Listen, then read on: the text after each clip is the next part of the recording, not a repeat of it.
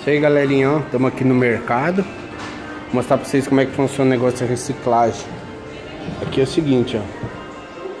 Vou mostrar pra vocês aqui Como é que faz a, uma reciclagem, a, a reciclagem do mercado aqui. Tem uns anúncios aqui, ó. Todo mercado praticamente isso aqui, ó. Descarte de pilha Descarte de lâmpada Descarte de filtro de água descarte de cartucho de água gasosa, né, que faz refrigerante em casa, que é para embalagem de leite, embalagem de química. E aqui é os PET, ó. Você tem que amassar os PET e colocar aqui dentro. Todo mercado tem isso.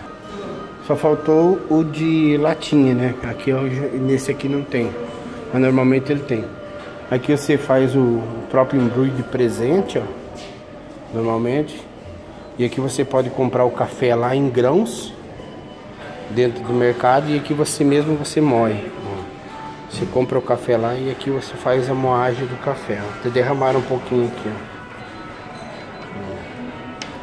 E o, o, pacote de presente você mesmo faz. Daí tem alguns anúncios aí na parede, tudo. É bem legal. Faltou o de alumínio, não sei o que aconteceu, mas normalmente ele tem o de alumínio também.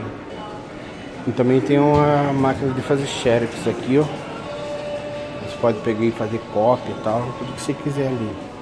Beleza? Bora lá?